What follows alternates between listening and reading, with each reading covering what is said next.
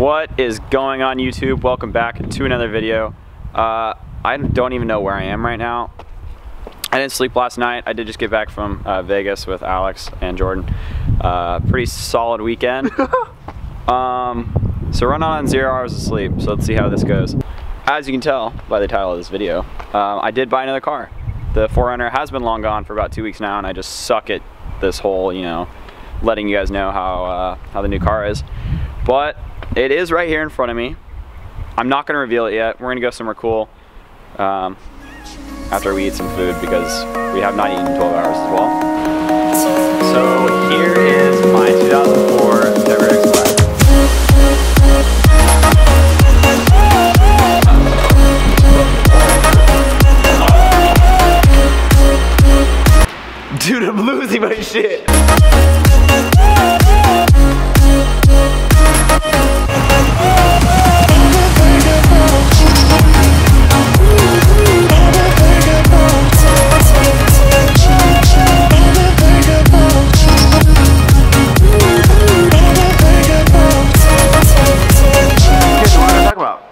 Talk about? All right, so biggest selling point in this car is the color. It is Java Black Pearl. You can't really tell. no, you will be. Hold just- on, hold on, hold your phone. Just because um, it Yeah, is it's kinda very hard to tell. dirty. Um, It was Java Black Pearl. Oh my! Wait, wait, wait, wait, wait, wait, wait, wait. Relax, Um, relax. it does have some uh, issues here, like these dents that I will have to pull out. You can. I'm trying to tell you, like on camera, you can't see the dents really, but Those, those are some big boys. th- those are those are big boys. Basically, I'm just gonna detail the car. I wanna make it sort of an OEM plus build. So with that, I wanna freshen up the suspension, make it tighter, lower it a little bit on some springs. Um, I don't plan on modifying the engine at all really, maybe a tune uh, with an access port, just to kind of get that boost to be a little bit lower in the RPMs. The car does have a nameless exhaust system uh, because there is no name on it. I found that out. No name. No, literally, you can't. No, like actually, hey, no name. What exhaust do you have? Company. No name. Nameless. No name. That's the one. Along with all wagons comes one side skirt that is not there. Absolutely. Fell off. So we're gonna figure that out today. So, what the big selling point on for me on this car was the fact that it was a blob eye. Um, I didn't really want a bug eye. The blob eye is pretty cool to me. I really like the taillights as well on these wagons. They're kind of more of an updated style uh, taillight like you see on modern cars today.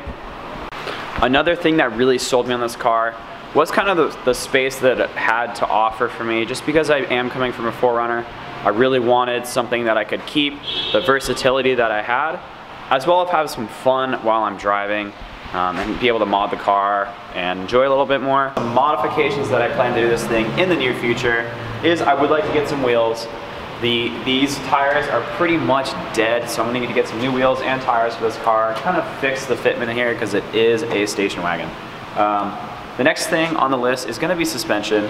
I think that the suspension, is it's pretty comfortable, but it needs to be stiffer, needs to be a little bit lower. So I'm gonna get springs and struts. I don't really wanna get coilovers just because I wanna kind of keep the OEM design. I think a rear sway bar would also help this car a lot.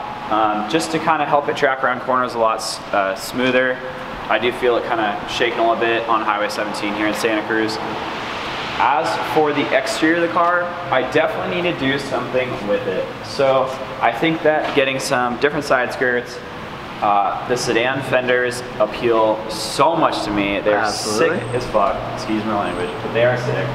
Um, I do want to get a front lip uh, for some reason, I want a bigger scoop in the front. Like, if it could go up to here, that'd be STS great. scoop. STS scoop. All the way up. 100%. Need that one.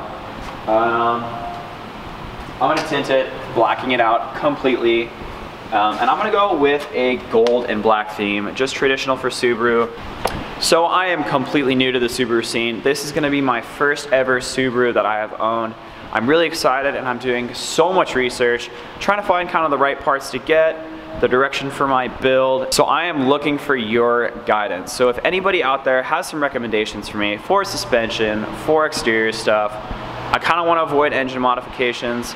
So if anybody out there has anything to help kind of steer me in the right direction for my build, please put links down below, comment, And feel free to DM me on Instagram. I am reachable through there. Uh, Instagram is right here.